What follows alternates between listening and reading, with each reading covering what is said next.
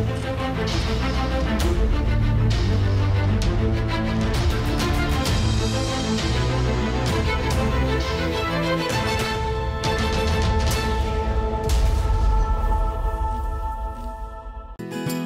thuốc đến nhà thuốc IDC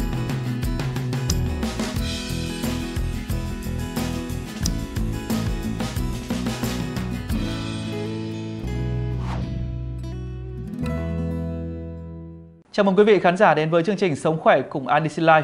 Thưa quý vị, ngày hôm nay chúng ta sẽ cùng tiếp tục đồng hành với nhau để tìm hiểu về những căn bệnh thường gặp trong cuộc sống và nhận được những lời khuyên thấu đáo đến từ các chuyên gia của chúng tôi.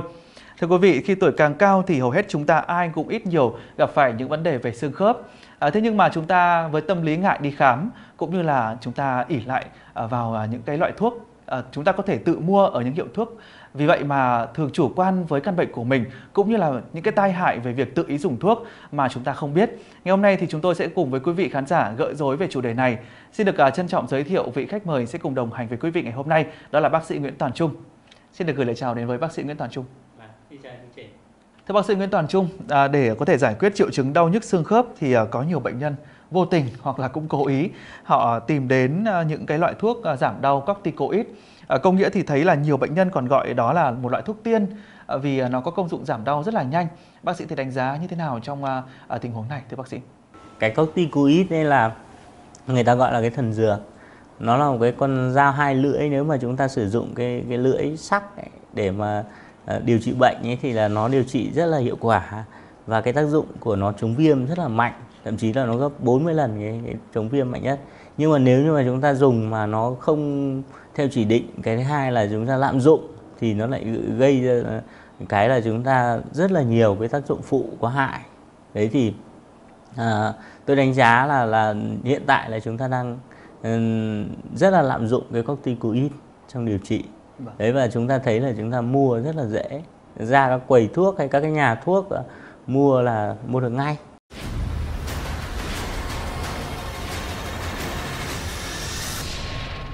Thưa bác sĩ Nguyễn Toàn Trung, những biến chứng nào có thể xảy ra nếu chúng ta lạm dụng à, các loại thuốc giảm đau mà có thành phần corticoid, đặc biệt là chúng ta dùng những cái loại thuốc này kéo dài trong một thời gian. Bác sĩ có thể chia sẻ cùng với quý vị khán giả. À, cái corticoid nếu mà chúng ta dùng trong một cái thời gian dài ấy, thì là à, đơn giản nhất là chúng ta nhận thấy là nặng mặt, đấy nặng chân, nặng tay, đấy chúng ta là thấy là phù, đấy. À, cái đấy là cái ứ nước, cái ứ nước là dễ nhận thấy là mặt tròn, tròn như cái bánh bao đấy và thậm chí là nó có cái hội chứng cất sinh như là ứ nước ở mặt ở cổ đấy nhìn như một quàng cái khăn đấy.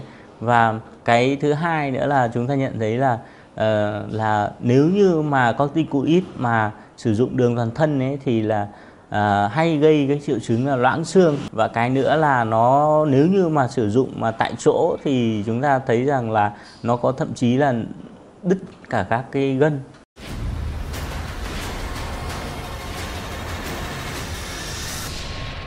Chúng ta có thể thấy rằng là người bệnh thì thường tự ý mua những cái loại thuốc như là bác sĩ có chia sẻ từ phần đầu chương trình đúng không ạ? À, ở những cái hiệu thuốc mà chưa có cái sự chỉ định từ các bác sĩ và những cái loại thuốc giảm đau à, hiện nay có thể kể đến như là đề xa hay là à, Medron đúng không ạ? Đây là những cái loại thuốc thông dụng mà rất là nhiều bệnh nhân họ tìm đến những cái hiệu thuốc để mua.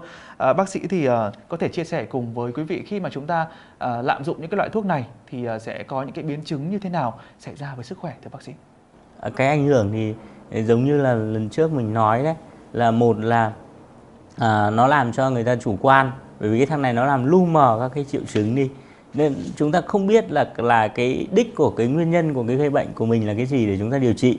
Chúng ta tưởng rằng chúng ta khỏe nhưng mà thực ra đấy là do tác dụng của thuốc. Ấy cái thứ hai đó là uh, người tạo ra một cái thói quen đấy ông bị uh, bệnh ờ, này rồi xong lần sau ông bị ông lại mua tiếp ông uống.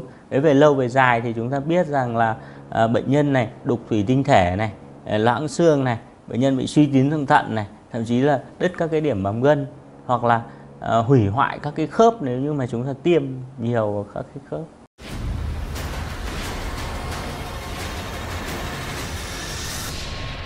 Thưa bác sĩ ạ, có nhiều bệnh nhân à, khi à, đau khớp thì họ lại được à, tiêm thuốc vào khớp.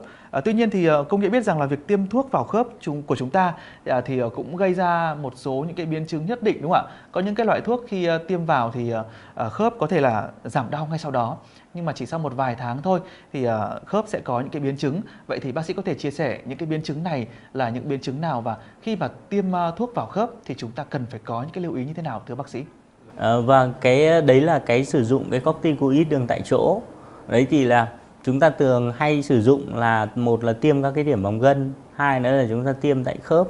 Đấy thì cái tiêm tại khớp ấy thì là đầu tiên ấy là chúng ta phải uh, uh, tiêm ở trong cái môi trường vô trùng đấy vô trùng tuyệt đối cái thứ hai nữa là cái tiêm khi mà các khớp nó không không có biểu biểu hiện là của nhiễm trùng đấy nếu như mà chúng ta tiêm vào cái khớp mà biểu hiện nhiễm trùng thì thậm chí là nó còn hủy hoại cả cái khớp nữa.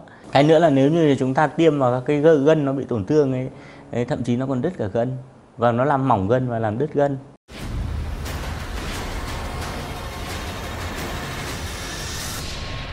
Thưa bác sĩ ạ, liên quan đến à, chủ đề ngày hôm nay thì cũng có một vị khán giả ở Hiệp Hòa, tỉnh Bắc Giang có hỏi bác sĩ thế này.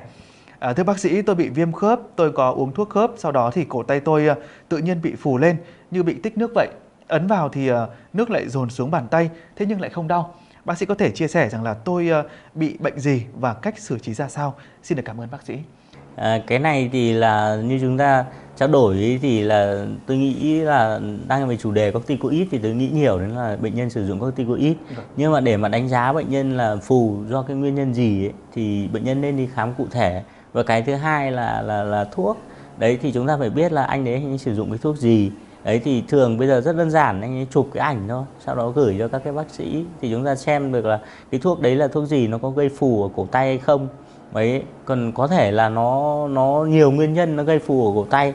Như chúng ta nói là ta đang nói về corticoid thì là cái tác dụng ừ, đầu, cái tác dụng mà hay gặp nhất là nó gây ứ nước đấy, nó gây giữ nước ở trong cơ thể. Thì có thể là nó có cái hiện tượng phù ở tay. Thì đầu tiên là chúng ta phải ngưng cái thuốc đấy ngay ngay lại, không sử dụng nữa.